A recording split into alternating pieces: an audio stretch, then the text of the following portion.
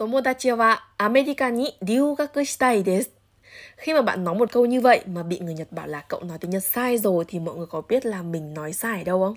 Ừ. Thực ra trong tiếng Việt mình nhá Khi mà mình nói rằng là muốn làm cái gì đó Thì dù chủ ngữ là mình hay là người khác Chúng ta vẫn sẽ nói là tôi muốn làm cái này Anh ấy muốn làm cái kia Về mặt căn bản thì cái hình thái của cái động từ nó sẽ không thay đổi Vẫn là muốn làm thôi Đúng không nào? Tuy nhiên, tiếng Nhật thì khác khi chúng ta muốn nói về ý muốn của bản thân mình nha, thì ví dụ, Watashi wa Amerika ni ryugaku shitai desu hoặc là bạn hỏi trực tiếp về mong muốn của đối phương đi. Anata wa Amerika ni ryugaku shitai desu ka? Thì chúng ta dùng như bình thường cái vetai. Ok. Còn lại, chủ ngữ là một đối tượng thứ ba thì chúng ta sẽ không không nói được với vetai giống như cái câu văn ở đầu clip này của mình đó là Tomodachi wa America ni ryugaku shitai desu. Mà trong trường hợp này, chúng ta sẽ có thể thay bằng hai cách nói như sau.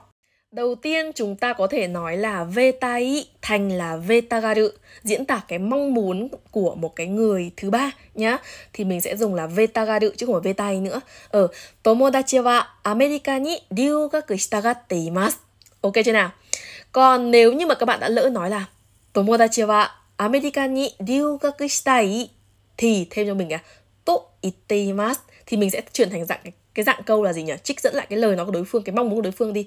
Tomodachi wa America ni ryugaku shitai to itteimasu. Bạn tôi nó nói rằng là nó muốn đi du học Mỹ. Ok chưa nào? Túm cái váy lại là các bạn chỉ cần nhớ cho mình đó là trong câu mà nói về cái ý muốn của người thứ ba thì các bạn đừng dùng nguyên là vetai cho mình nhá.